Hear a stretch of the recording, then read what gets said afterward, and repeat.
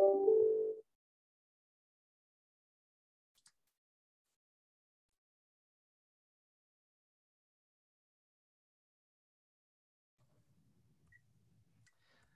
afternoon, everybody, and uh, welcome. Welcome to our Spring 2021 Honors Lecture Series on Social Justice. My name is Dr. Philip Phillips, and I'm the Associate Dean of the University Honors College here at MTSU. Um, I'm welcoming all of you, most of whom are, are students of mine, but um, this program will also be made available on YouTube and may find other audiences. So um, to all of you, welcome as well. When I was designing this series uh, for this semester on social justice, uh, one of the first people I thought of was Dr. Laura Dubek. Uh, we, uh, Dr. Dubek is uh, a colleague of mine in the English department. Uh, we've worked together in different capacities and we had a lecture series here a number of years ago focused on prison narratives to which well, which she participated in. And then subsequently, uh, when uh, we, we developed a book out of that project, she contributed an outstanding chapter uh, on Malcolm X. And so when I was thinking of this topic of social justice, I, I thought of, of, of, Dr. Dubek and that it would be essential to have her in the program. Uh, Dr. Dubek earned her doctorate at the University of Iowa in 2001 with a specialization in African American literature. And in 2002, she came to MTSU, where she's a professor of English and, as I've mentioned, a member of our honors faculty. She teaches courses for several programs here at the university, including African American and Africana Studies, English, General Education, Graduate Studies, and Honors. Uh, for three years, she taught for the Great Books in Middle Tennessee Prisons program, and we actually did that together. Dr. Dubek's literary criticism has appeared in numerous peer-reviewed journals. Her recent teaching and scholarship have focused on Black popular culture and have included collaborative research with graduate students. She's the editor recently of Living Legacies, Literary Responses to the Civil Rights Movement, a collection of essays, uh, inter interdisciplinary in nature, published by Routledge in 2018. And appropriately, uh, Dr. Dubek is the recipient of a couple of, of university awards uh, from the College of Liberal Arts. She won the Faculty Award for Student Success in 2014.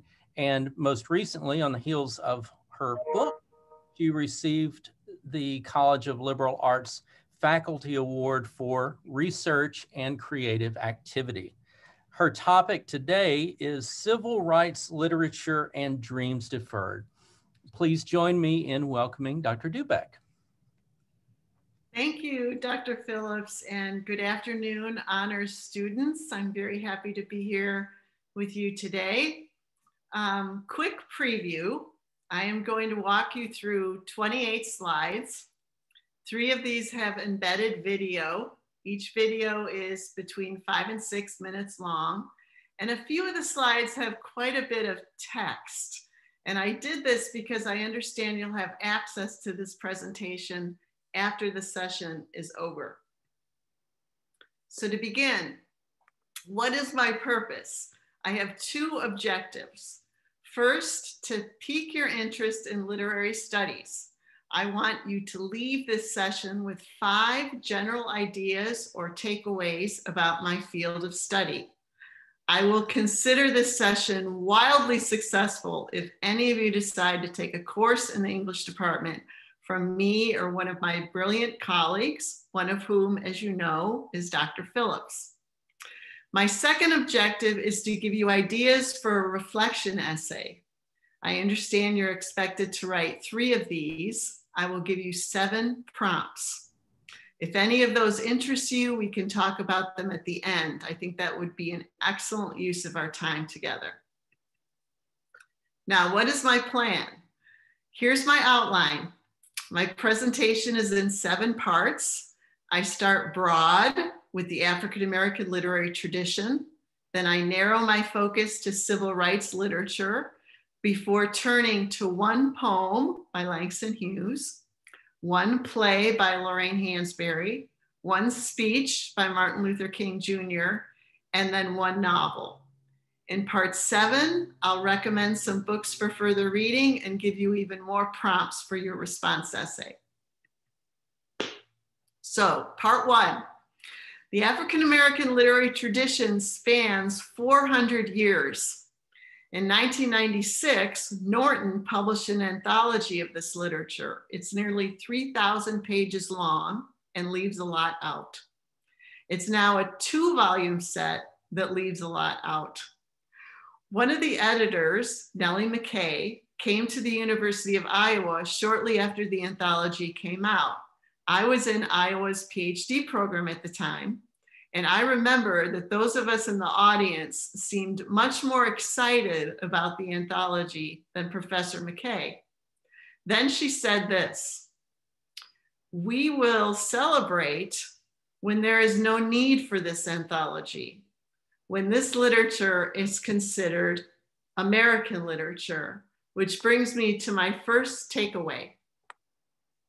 African American writers have always produced literature out of a context of racial inequality and injustice. So, what Professor McKay meant was that although the anthology was an academic achievement, no doubt about it, we needed to keep our eyes on the prize the goal wasn't an anthology, it was to end racial inequality and injustice. Now, if you are aware of the African American literary tradition, and I bet you are, it's probably via the vernacular. The oral roots of this literary tradition are deep and wide. The image you're looking at is an 1893 oil painting by Henry Tanner titled the banjo lesson. If you were to take a survey course in this tradition, you would read texts from all three major genres poetry, drama, and fiction. And you'd probably read some nonfiction, slave narratives, essays, memoir, and autobiography. And you'd probably also discuss some African American popular culture. And that includes film and TV, children's and young adult literature, and also music. You could spend eight semesters studying this tradition, and still there would be more to read and view. Now, this slide shows just a fraction, a tiny fraction of the writers and artists who have won prestigious awards for their work. Toni Morrison, on the left, won the Nobel Prize in Literature. Rita Dove, to the right, was the first Black US poet laureate. Now, if Morrison is the queen of Black fiction, and she is, then August Wilson in The Hat is the king of Black drama. I included a film by Barry Jenkins, Moonlight, that won the Oscar for Best Picture in 2017. This was a really big deal. It was two years after the hashtag Oscars So White lit a fire in Hollywood.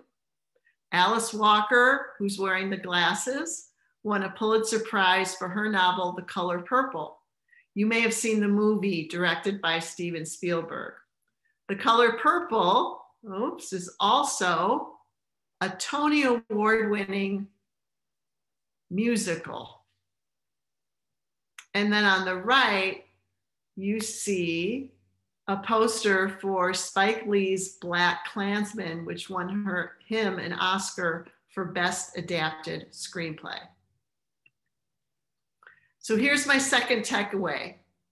Despite writing within a context of racial inequality and injustice, consider that of the fiction books put out by major publishing houses between 1950 and 218, 95% of those were written by white authors. Black writers and artists in the US have consistently produced work of exceptional quality. So by now, I suspect you realize the enormity of the task in front of me. How to talk about this rich 400 years long tradition in under 40 minutes? The answer is to narrow my focus. My focus will be on a tradition within the 400 years long tradition. The civil rights movement of the mid 20th century has a literary component that is also a relatively new field civil rights literary studies. The Cambridge Companion to this field was published in 2015. But even that tradition is way too much for 40 minutes. So I need a theme within civil rights literature, and I have chosen Dreams Deferred.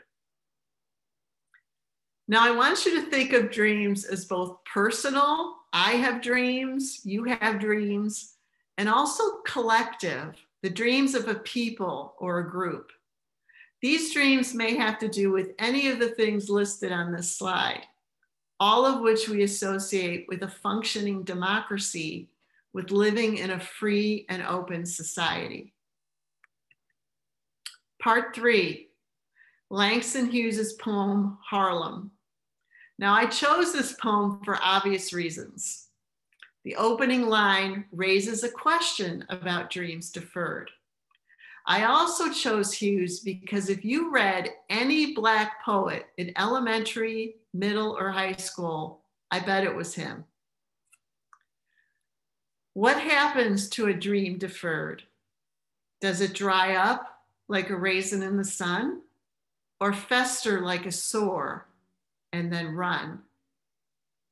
Does it stink like rotten meat or crust and sugar over like a syrupy sweet? Maybe it just sags like a heavy load or does it explode? Next up is my first video from the Poetry in America collection. Now in this clip, you'll hear four people speaking about Hughes's poem.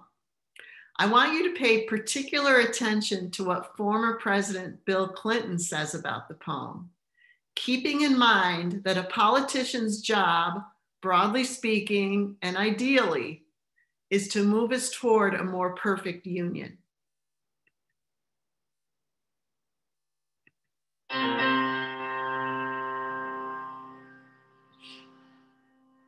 What happens to a dream deferred? The first sentence, the first question, has a bit of sadness attached to it. It's a dream deferred. I mean, dream is like a goal, what you reach for, you know, what you aspire to. You know, and you want to go for it. You want to go for it. Deferred means it's been deflected some kind of way, which is a disappointment. So there's disappointment involved. This is Langston Hughes. The title is Harlem.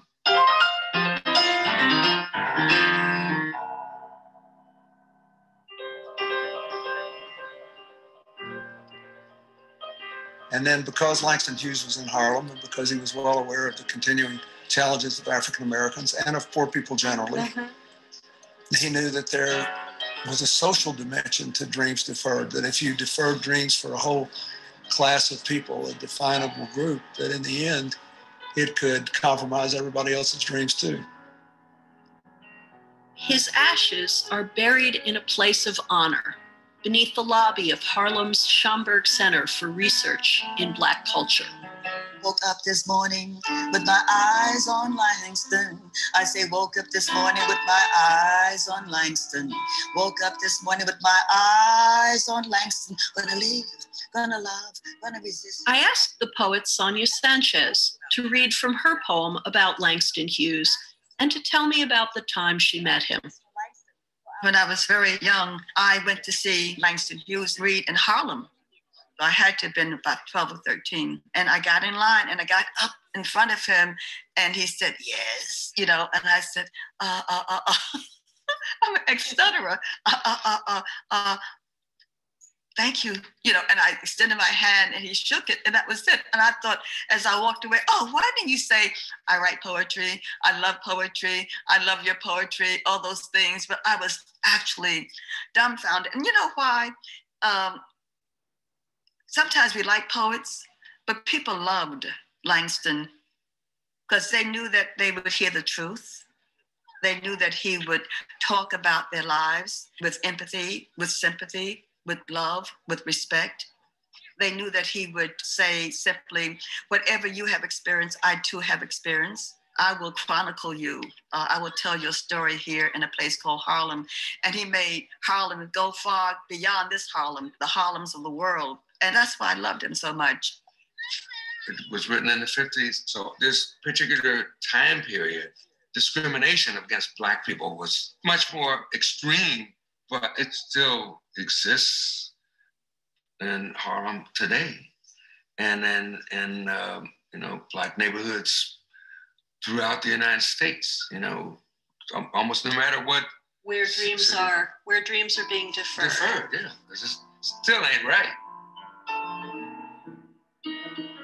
What I felt from my reading of it loses the spirit of a poem. What happens to a dream deferred? Does it dry up like a raisin in the sun or fester like a sore and then run? Does it stink like rotten meat or crust and sugar over like a syrupy sweet? Maybe it just sags like a heavy load. Or does it explode?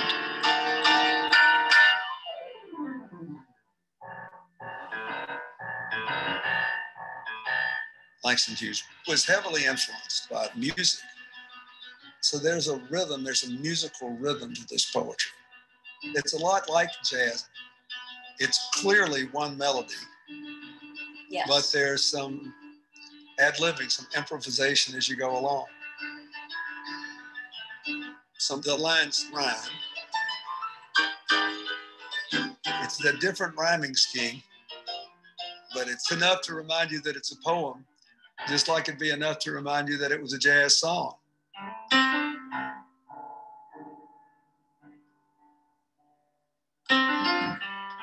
This whole piece that when you do it, you hear the jazz and blues, you know. So you have to then take your mouth and make your tongue begin and respond. What happens to a dream before do that, do that, do that, do that, do do that, do do do that, do that, do? Does it dry up like a raisin in the sun, or fester like a so so so so so so, and then run run run run run? Does it stink like rotten meat, or crust and sugar over like a surface sweet sweet sweet sweet sweet? Maybe it just sags like a heavy load, load, load, load, load, load or does it explode? he gives you. well, you just sang this all as bebop, right? Yeah, right? With yeah. some scat. Yeah. I hear, mm-hmm. and maybe it just sags like a heavy load, mm-hmm. an older country blues. So this brings me to takeaway number three. A literary text is both art and artifact. Harlem tells us something about ourselves and also the world we live in. Literature can make us feel something, help us understand something, and prompt us to change something, which leads into the first prompt for a reflection essay. Langston Hughes's Harlem bears witness to the frustration Black Americans felt in the post World War II era. Blacks served in the war only to return to the country of their birth and face discrimination in employment, education, housing, healthcare, and daily life. In what ways does Hughes's poem speak to the current era? Whose dreams are being deferred? What is the motivation behind denying individuals or groups the full rights of citizenship? How do you explain such injustice? And whose responsibility is it to ensure that all Americans have equal access to what we commonly think of as the American dream? So that's several questions in one. Um, and I think the first part would be easy, just turn on the news on any given day. It's the second part to talk about the motivations and the responsibility that's a little bit trickier. Part four. So we're going from a poem to a play. Lorraine Hansberry's play, A Raisin in the Sun.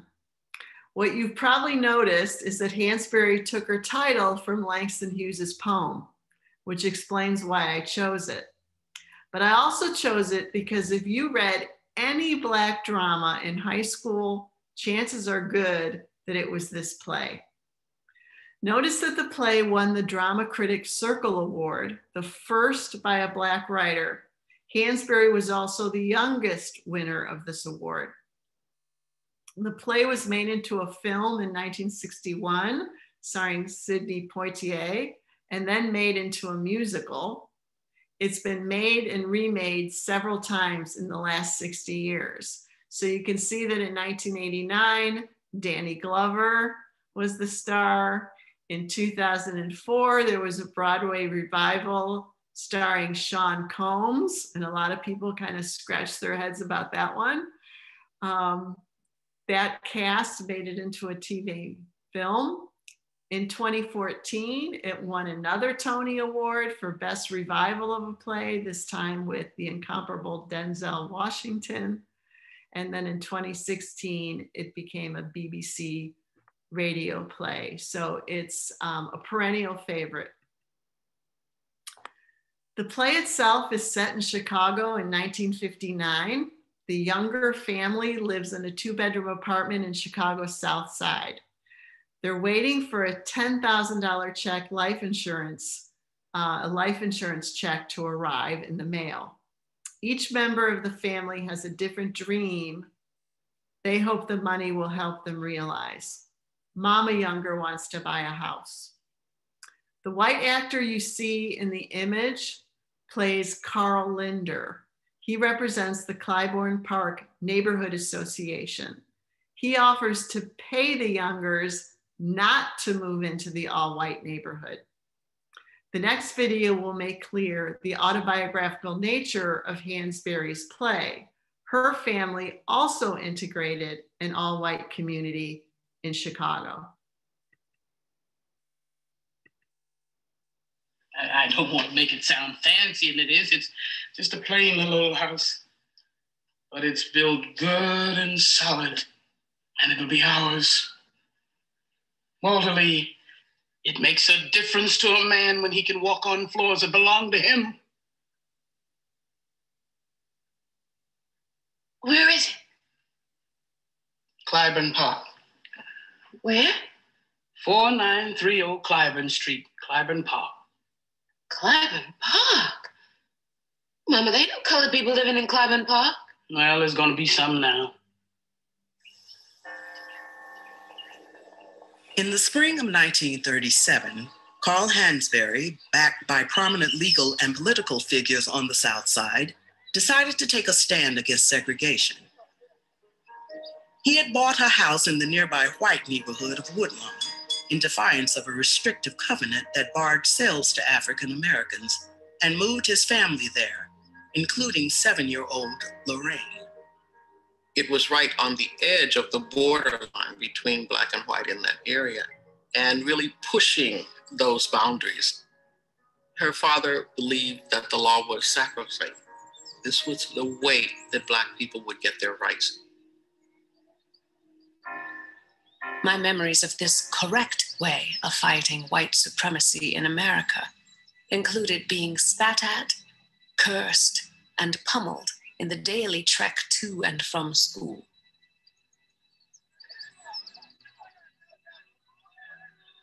Our bodyguard came out and got us when he saw the crowd gathering. Lorraine was sitting on a love seat. And that's when they threw this huge piece of mortar. That mortar lodged in the wall and just missed her. It's in that moment that she recognizes that, notwithstanding her family's prosperity, she was still going to be subject to racial violence like every other Black American. I remember my desperate and courageous mother patrolling our house all night with a loaded German Luger, doggedly guarding her four children.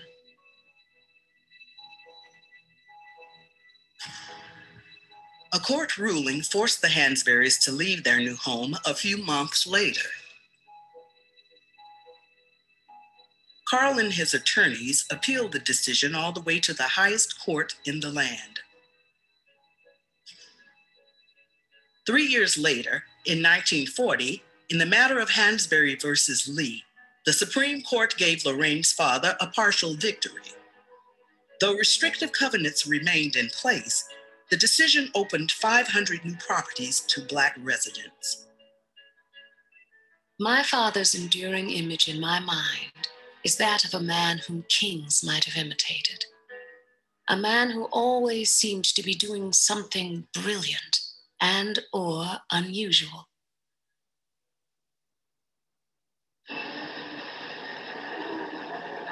By 1945, in spite of the Hansberrys' brave stand, little had changed. Chicago remained a highly segregated city. Other efforts by the family to tackle segregation in interstate travel and the US military went nowhere. Lorraine's father had lost faith in America's legal system to guarantee equality to its African American citizens, and he was worn out from the fight. Her parents gave up on their native country. he bought a beautiful house in Mexico City and he felt free for the first time in his life. 15 year old Lorraine stayed behind in Chicago to finish her sophomore year of high school. But as she prepared to join her parents in Mexico, she received devastating news.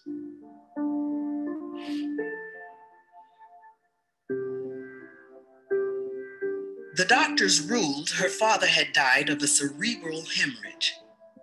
Lorraine thought otherwise. The cost in emotional turmoil, time, and money led to my father's early death. Hansberry reflects really powerfully on her father's death. Someone who worked hard, who followed all of the principles of what it meant to be American and even for him, the society was closed in so many ways. I think that pushed her towards a different way of trying to approach the questions of race and justice.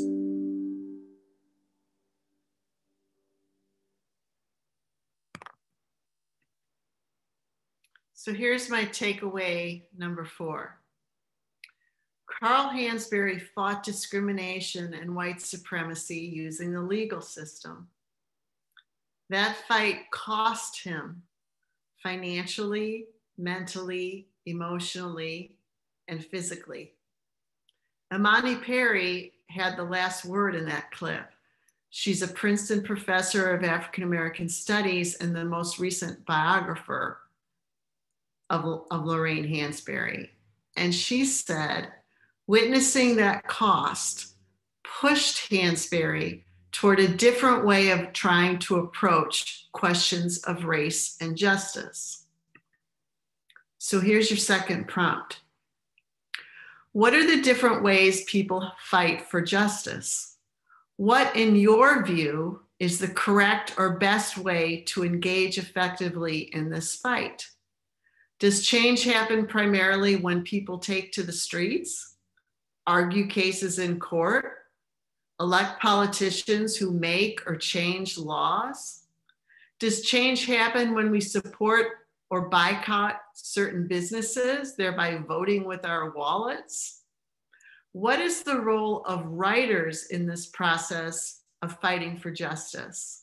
Has your mind or heart ever been changed by reading a poem or watching a play or a film? And if you were to answer this in a reflection essay, you probably want to put a lot of focus on that last part.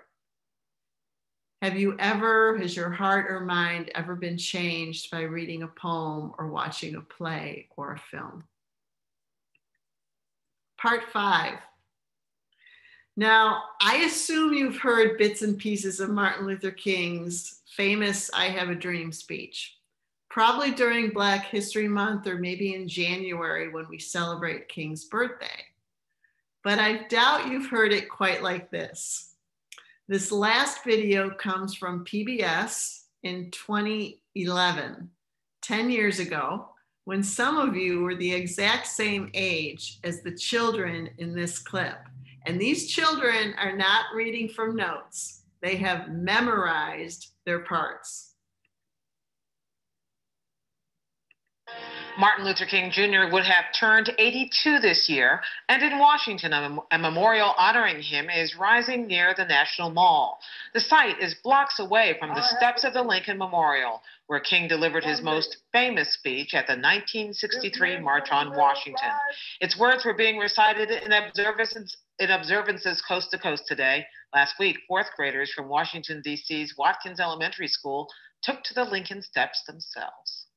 I am happy to join with you today. It will, will go down in history as the greatest demonstration for freedom in the history of our nation. Five score years ago, a great American in whose symbolic shadow we stand today signed the Emancipation Proclamation. This momentous decree came as a great beacon light of hope to millions of Negro slaves who had been seared in the flames of withering injustice. It came as a joyous daybreak to end the long night of their captivity. But 100 years later, the Negro still is not free. 100 years later, the life of the Negro is still sadly crippled by the manacles of segregation and the chains of discrimination. A hundred years later, the Negro lives on a lonely island of poverty in the midst of a vast ocean of material prosperity. 100 years later, the Negro is still languishing in the corners of the American society and finds himself in exile in his own land. So, we have come here today to dramatize a shameful condition. In a sense, we have come to our nation's capital to cash a check. When the architect of our republic wrote the magnificent words of the Constitution and the Declaration of Independence, they were signing a promissory note to which every American was to fall heir. This note was a promise that all men, yes, black men as well as white men, would be guaranteed the unalienable rights of life, liberty, and the pursuit of happiness. It is obvious today that America has defaulted on this promissory note insofar as her citizens of color are concerned. Instead of honoring this sacred obligation, America has given the Negro people a bad check. A check which has come back marked insufficient funds. But we refuse to believe that the Bank of Justice is bankrupt. We refuse to believe that there are insufficient funds in the great vaults of opportunity of this nation. So we have come to cash this check, a check that will give us, upon demand, the, the riches of freedom and the security of justice. We have also come to this hallowed spot to remind America of the fierce urgency of now. This is no time to engage in the luxury of cooling off or to tranquilizer drug gradually. Now is the time to make real promises of democracy. Now is the time to rise from the dark and desolate valley of segregation to the sunlit path of racial justice. Now is the time to lift our nation from the quicksand of, of the right of racial justice to the solid rock of brotherhood. Now is the time to make justice a reality for all God's children. It would be fatal for the nation to overlook the urgency of the moment. This sweltering summer of the Negro's legitimate discontent will not pass until there is an invigorating autumn of freedom and equality. 1963 is not an end, but a beginning. I say to you today, my friends, and so, even though we face the difficulties of today and tomorrow, I still have a dream. It is a dream deeply rooted in the American dream.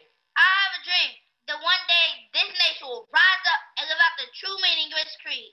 We hold these truths to be self-evident that all men are created equal. I have a dream that one day on the red hills of Georgia, the sons of former slaves and the sons of former slave owners will be able to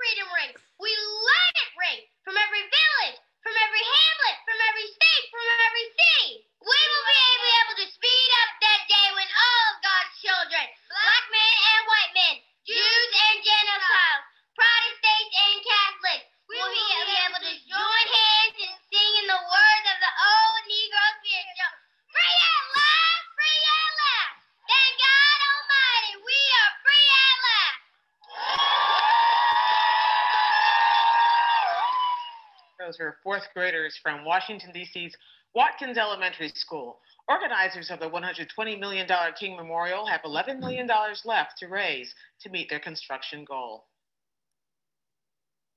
Wasn't that great? so, prompt number three, which is my favorite because it seems particularly relevant today. And it's also, I think, the one that would be the most difficult, the most challenging. When Martin Luther King came to Chicago in 1966, and a lot of people don't know that because when they think of the uh, the civil rights movement, they think of the South. And certainly there was a movement in the South, but not exclusively the South. When he came to Chicago in 1966 to protest discrimination in housing, white people lined the streets, set fire to cars, threw bricks at black marchers, and screamed, Go home, N word. What dreams do you think these white people had? How did the protesters threaten those dreams?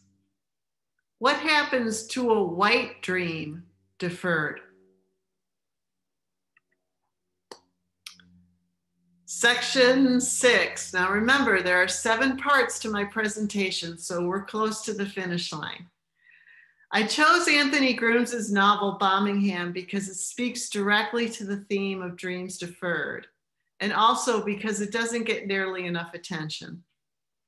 If you grew up in Alabama, you might know that in the 1960s, Birmingham was nicknamed Bombingham because so much bombing, mostly by the Ku Klux Klan, happened there. Here's a little bit about it. The novel has a dual setting. So we move back and forth between two places and two different periods. Birmingham in 1963, when the, when the protagonist is growing up, and Vietnam in the 1970s when he's serving. Walter Burke is the protagonist and narrator. The novel resists mythologizing the civil rights movement. F. King Walter, Walter tells a fellow soldier at the beginning of the novel. Bombs are exploding in both places. So there's a war overseas and a war at home against Black Americans. In 1963, just 18 days after the March on Washington, the Ku Klux Klan set off a bomb in Birmingham's 16th Street Church, killing four little Black girls. Spike Lee made a documentary called Four Little Black Girls. Later that same day, a black boy was shot and killed while riding his bicycle. In the novel, this boy is Walter's best friend. Takeaway number five.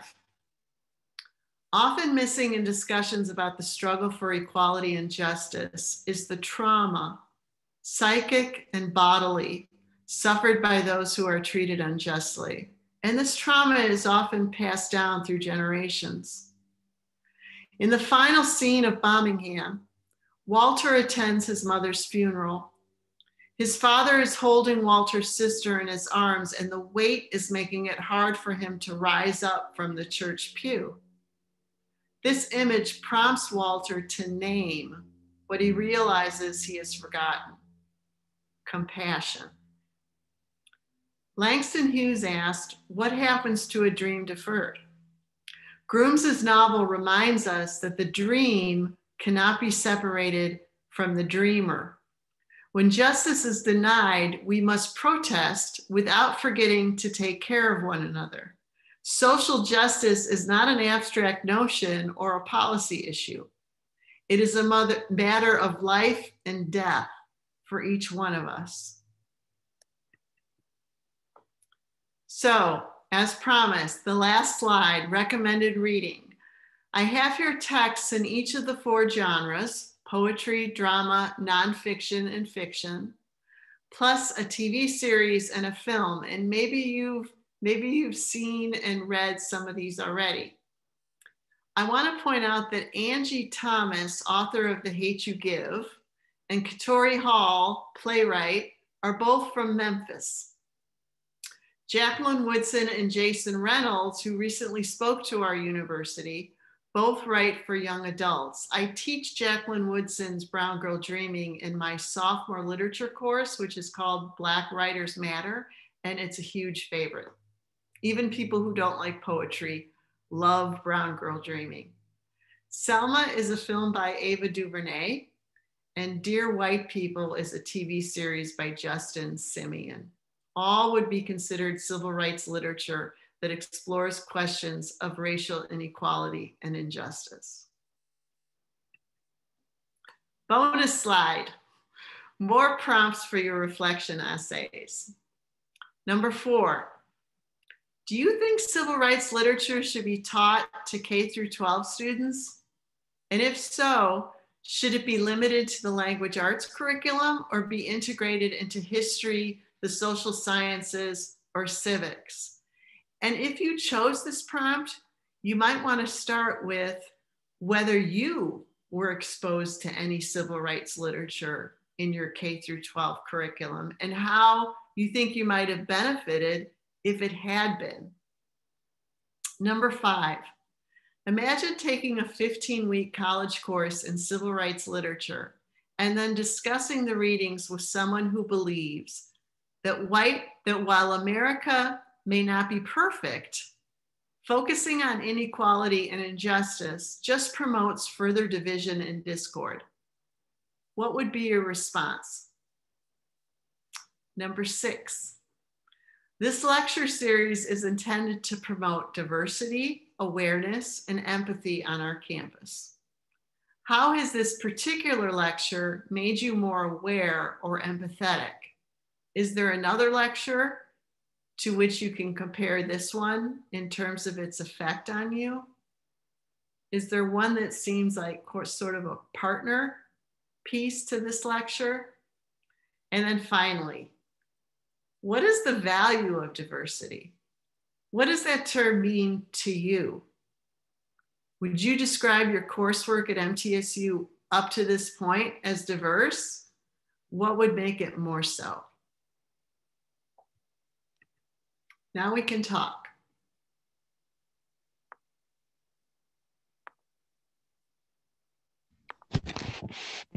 I, I have a question regarding just like an essay idea. Okay. It's more of a general thing. It's not about like the parameters.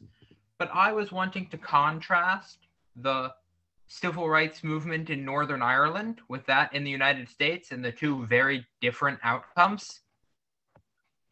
I think that would be an excellent response essay to talk about how the social issues and racial inequality is not a specifically American phenomenon, that it's happening in other parts of the world.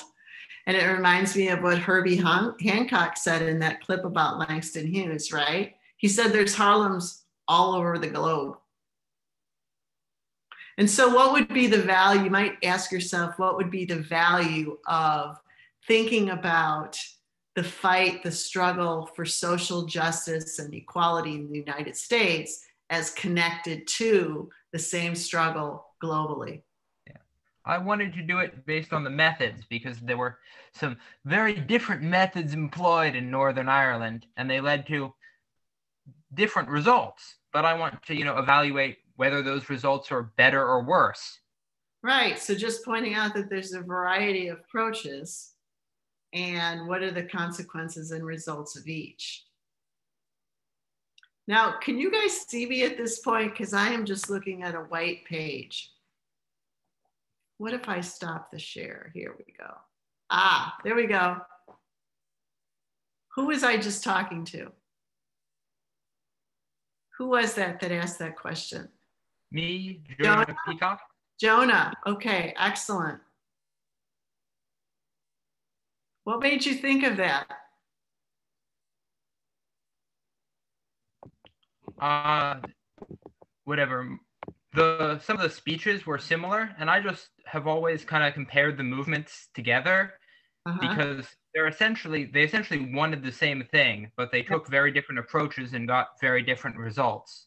Yeah. And had one had a much higher price than the other. Mm-hmm. in terms of violence and human life? Yes.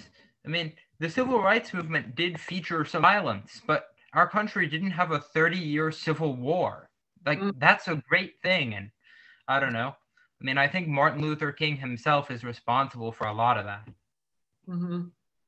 Mm-hmm. His commitment to passive nonviolence. Yeah. Which at the time got a great deal of resistance, right, within the movement itself. And it didn't prevent him from being considered a domestic threat and being surveilled by the FBI.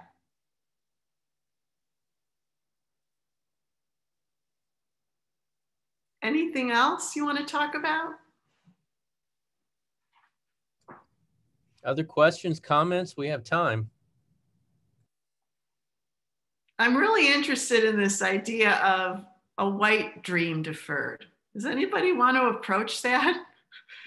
Langston Hughes's poem was not about white dreams, right? Actually, I was actually looking at um, the suggestion that you were giving us for the reflection paper, and I thought that prompt in general was very interesting because I've never actually thought about it from that perspective of a white dream. Like, what were the um, white people thinking? Like, it's always just been more targeted towards um, what the African Americans were going through, and so I feel like that prompt itself would be something that I would maybe look at in um, writing a reflection paper about because I've actually never thought of it from that point of view. Yeah, you'd have to be brave to do that. but there's there's a lot of focus, especially right now, on um, you know the white economic anxiety, right? Yeah. That if you if you really dig deep into that, what what is the what, how do you explain the very violent white resistance to the extremely reasonable demands that King and his followers and white allies were asking for? What worldview was being threatened that they had to go to such extremes to resist it? I don't know why, but I just have this stereotype that a lot of it has to do with fear of giving up their American dream. Um, I'm not sure if it makes sense anyway, but it's almost like um, maybe from the very beginning they have they were ingrained in their mindset of I built this from scratch and I built this American dream for my family. And and all of a sudden, I think it's just in a sense about sharing. Right I feel like I, it's hard. Right. It's, it's, a very, very hard and difficult topic to um, tackle. Oh, yes. But yeah. you know what? Take a risk and do it. But I think you're onto something because there's this idea in people's minds that there's one pie, mm-hmm. right? Yes. And some of their pie is being taken away, right? If someone else gets more, they're going to get less. Mm-hmm. And I feel like it's I feel like it's always the fear factor that drive people to do things, especially um, cause like violent movements and stuff like that. That usually, I mean, people when people make decisions, we always waver the pros and the cons. And so in mm-hmm. that situation, if it's out of fear, then for them, it's more of a pro for them to act that way that they had to because of you know fear of being something taken away from them that they worked so hard for. Right. And, and then what do they feel like that is being taken away from them? I think that's the that's the that's what I have to tackle it's a sense of a sense of identity. I could be. There I feel like there's a lot that could cover that topic. Yeah, it sure could. But you just have to dip your toe into it. You don't have to solve the problem. Mm-hmm. you have to examine it, explore it from, and raise raise some questions about it.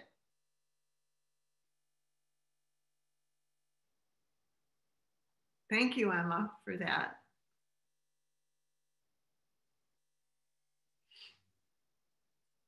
How many of you have, have had exposure to Langston Hughes, Lorraine Hansberry, King's Speech, I assume that Anthony Grooms's novel is something you haven't heard of. Did you study any of these writers in school? Unfortunately for me, um, it's actually my first time um, getting introduced to these writers, and I think um, I think in one of your prompts you were asking if we would if there is diversity in the courses that we're taking, and actually, in a sense, I've never thought of it from that view, but I feel like there is a lack of diversity, especially um, in high school, in terms of the literature that we are being exposed to, because uh, I think probably if I've back from my memories of all of the literature that I read, I would say one or two of them was really targeted um, on different race, and everything else was just, you know, um, I think white authors. And so i I definitely, I'm not sure about college because I'm a STEM major. I obviously have not took enough literature courses to know that. Um, but I definitely feel like we, in a sense, do lack diversity when it comes to the education system. Yeah, yeah, I think you're right, and I think it takes a while to to realize that as a learner because I know it took me a long time. I was just given books, and I thought that they were given to me because they were the best of the best. Right. Right. And then it was pointed out that the vast majority were written by white men and they weren't the only people writing that wasn't the only tradition. And so i remember coming to the realization that i had sort of been lied to you know and that made me really angry. Right. Yeah i i often feel like um, a lot of the books that i read growing up it painted like this perfect representation of what um, life is and what goals and dreams should be but I never really realized that the type of content I was reading was all from one um, general demographic. Right. And it was really when I started exploring more authors that were in different demographics that I realized there were so many different ways to achieve different things because everybody goes through something different in life. Yes. But I think, especially with the um, choices of literature that were given in high school and even middle school, a lot of us don't know about the other ways you know to go about life. And especially for me because i'm asian i you know i i just couldn't relate to them. I was never able to relate to the authors of the books i was reading. And so i feel like there i kind of wish that my art my teachers would have given me more choices back in high school of the type of books to read instead of you know all authors in one demographics. Right. It's very it's very affirming to read books and stories that reflect your own experience but it severely limits your perspective as you get older right about what the world looks like. Yes. Yeah definitely. I agree. Well with that please join me in thanking our speaker today, Dr. Dubek, uh, for an outstanding lecture and, and for raising such important questions. I think we, we could sit around and talk about this all afternoon and we, the, the conversation needs to continue. We need to think about these, these issues. So thank you. Thank you for a great presentation today. Welcome. Thank the rest of you. Have a great day.